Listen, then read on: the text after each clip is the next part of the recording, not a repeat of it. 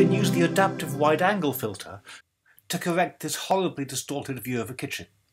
We'll go to filter and choose adaptive wide angle. Click at the end of a line you want to straighten and click at the other end of the same line. For this image, we need to change it from perspective to a fisheye correction. And you can see how it now straightens that out for us.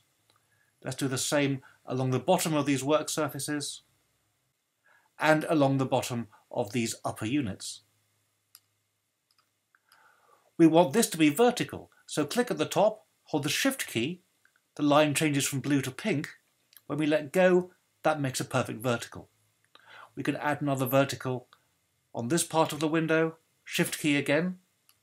Let's add verticals between these cupboards, the Shift key, Shift key down the side of the bin here. We can straighten out the lines on the floor by clicking and dragging along the line. No need to hold the Shift key down now. And we'll do the same for this line and for the next one. The table's a bit skew-if, so we can hold the Shift key and drag down the middle of those table legs and it'll make both of those vertical for us. And let's add a vertical down the side of the dishwasher.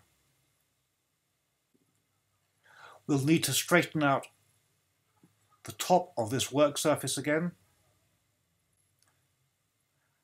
And let's do the top of this window where it's a bit curved.